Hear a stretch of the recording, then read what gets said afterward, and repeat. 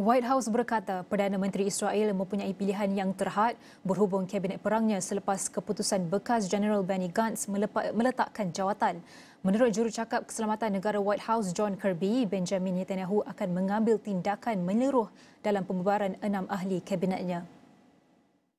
The, the war cabinet is an internal, was an internal uh, uh, domestic measure taken by the Prime Minister to better advise and provide him counsel on the war. Um, we said at the time that we believed it was a worthwhile step, um, and, uh, and we still hold by that. But uh, with Mr. Gantz's decision to leave, um, I'm not sure that Prime Minister Netanyahu was left with a whole lot of other choices. Netanyahu kini dijangka mengadakan rundingan mengenai perang Gaza dengan sekumpulan kecil menteri termasuk Menteri Pertahanan Yoav Galan dan Menteri Hal Ehwal Strategik Ron Dermer yang pernah berada di dalam kabinet perang.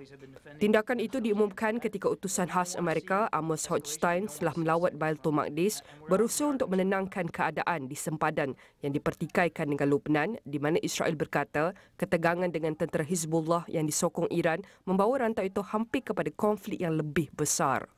Kirby akui Amerika bimbang tentang peningkatan serangan daripada Hizbullah tetapi setakat ini mereka belum melihat kumpulan itu terlibat sepenuhnya. Tentera Israel mendakwa telah membunuh seorang pegawai kanan Hizbullah di kawasan Sela di selatan Lubnan.